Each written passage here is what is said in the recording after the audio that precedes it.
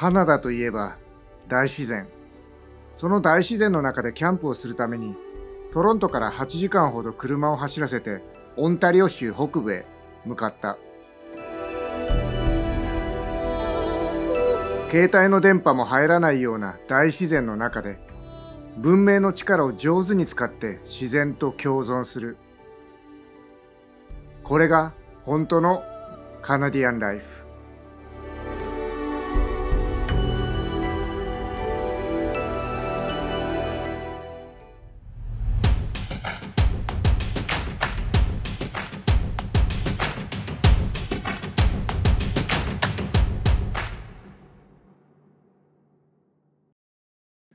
サルウェブン、ノリです。カナダといえばやっぱり大自然ですよね。その大自然の中に自分の土地を持って、キャビン、ここね、この山小屋みたいなものを建てて、その中でキャンプをするっていうのがまたカナディアンドリームなんですよ。そのカナディアンドリームを体験しに来てます。ここはトロントから8時間ほど北に行ったオンタリオ州北部のセントジョセフアイランドっていうところなんですけど、そこに友達が土地を持ってて、で、キャビンもあるので、そこで撮影を兼ねて2週間ほど滞在させてもらってます。今日のこの動画では、そんな大自然の中で暮らすカナディアンドリーム、カナディアンライフを皆さんにちょっとでもシェアできたらなと思ってます。このチャンネルに初めて来てくれたあなた、ありがとうございます。このチャンネルでは普段は動画制作のハウトゥーなど動画制作に関することをここカナダからお届けしています。動画制作に興味がある人、ぜひチャンネル登録してください。でも動画制作のスキルを上げていこうと思うと、やっぱり仲間がいた方がいいんですよね。わからないことがあったら相談できたり、フィードバックをくれる仲間がいるっていうのは本当動画制作のスキルを上げるのにすごい役立つんですよ。でもなかなかそういう環境にいる人って少ないですよね。そこで今、動画の力というオンラインのコミュニティをやっています。動画好きが動画好きのために作ったこのオンラインコミュニティ動画の力ではみんなでお題に挑戦したりそのフィードバックを出し合ったりしてみんなで楽しみながら動画制作のスキルを磨いてます。興味がある人はこの動画の詳細欄にリンクを入れてるんで見てみてください。じゃあ早速 Real Canadian Life 大自然の中でのキャンプ生活を皆さんにちょっとだけでもシェアしていけたらなと思います。まずはこのキャビン。もう本当、まあ、ボロいってはボロいんですけど、でも、すごいいい感じを出してる、こう、山小屋みたいな感じのキャビン。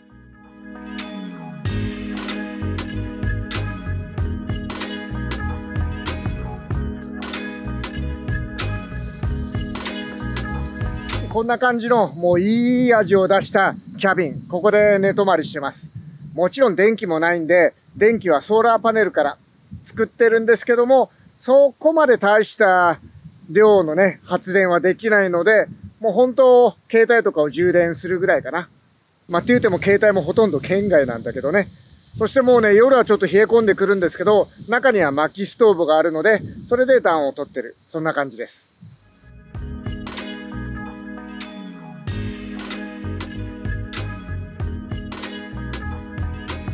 すぐ向こうには湖もあるんでね、ちょっと皆さんに見せに行きましょう。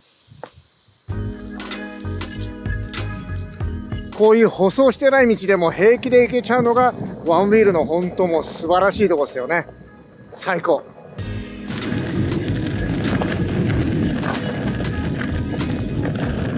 Hey Shindra How you doing? Hey やっぱり大自然の中のねカナディアンライフって言ったらやっぱり犬ですよね可愛いでしょこのシンドラ Kindra, you want to say hi to the camera? Say hi to the camera. Aww, you're so cute. かわいいね。この向こうが風が強いね。ここの向こうがちなみにね、アメリカです。こっち側がカナダ側。ちょっと風強いんで、違う場所を見せましょうね。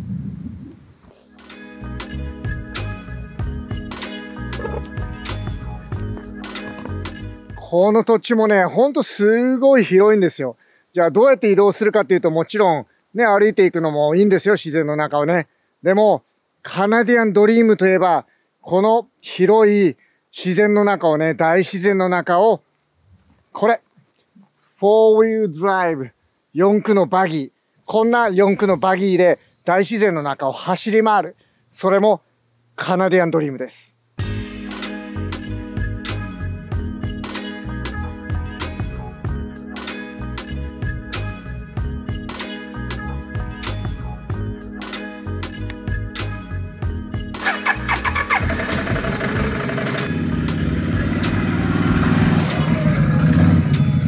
超楽しい。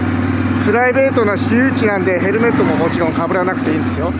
今からトレーラーハウスの方にちょっと行きましょう。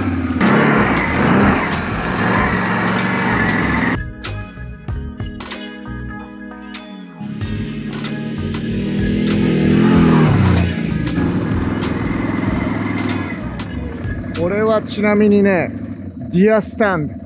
ディアスタンドって要は鹿鹿をハンティングするための、まあ、塔、タワーみたいな感じなんですよ。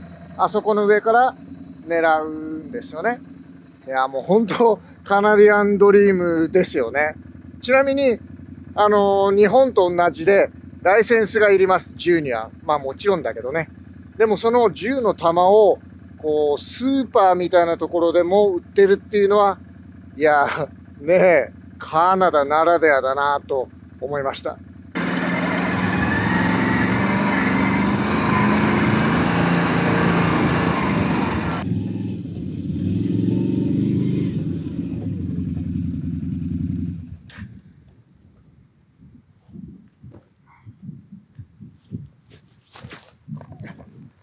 ここがトレーラーハウス。ここで撮影したデータをこう整理したりとか編集作業っていうのを今やってます。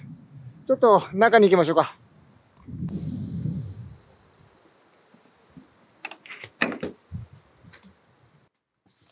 さあ、ここがトレーラーハウス仕事場です。ここの中で編集作業なんかをやってます。せっかくこんないい大自然のロケーションなんで、この大自然を活かした撮影なんかもやってるんですけども、正直今のこの動画でもアップするのにどれぐらい時間かかるかわかんないですよね。ポケット Wi-Fi 使ってるんですけど、そのポケット Wi-Fi も電波の入りがめっちゃ弱いんですよ。なので、ここで撮影した動画は、おそらくオタワに戻ってからアップする形にはなると思うんですけど、楽しみにしててください。とりあえず今日の動画は、このカナディアンライフ、このカナディアンドリームを満喫しながら、ノリートは生きてますっていう動画でした。この大自然の中で撮影してる動画制作の How to の動画もアップしていくんで楽しみに待っててくださいね。I hope you guys enjoyed this video and see you in the next one. じゃあね、みんな楽しみに動画待っててね。